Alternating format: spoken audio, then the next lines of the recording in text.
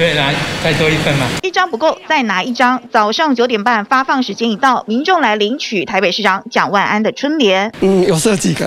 今年他的那个造型，那个兔那个地方蛮特别的，然后不是像一般传统。我是员工，我刚好下来等等那个快递，我想说大家都在排队，很可爱啊。难道是宣传不够吗？发放时间来拿春联的民众不多。北市府这一次印二十万份春联，放在市政大楼、十二区行政中心、各里办公室等，供民众索取。支持者、市府员工都说好看，但贺词上写“兔来万安”，却被批评把蒋万的名字写进去。熟悉的国民党马屁文化又回来了。以前蒋介石也是到处啊，他的题词题字吗？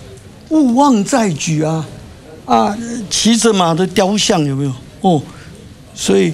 我觉得蒋万安这么做，诶，是重振蒋家威风嘛？哦，他只差还没有镀上铜像而已啦。大酸北市府的春联，犹如把大家的时光倒回四五十年前。自称蒋氏的议员王世坚建议蒋万安干脆这样做，可以考虑然后，在市政府一楼大厅可以立一尊蒋万安的铜像，可以直追他的曾祖父。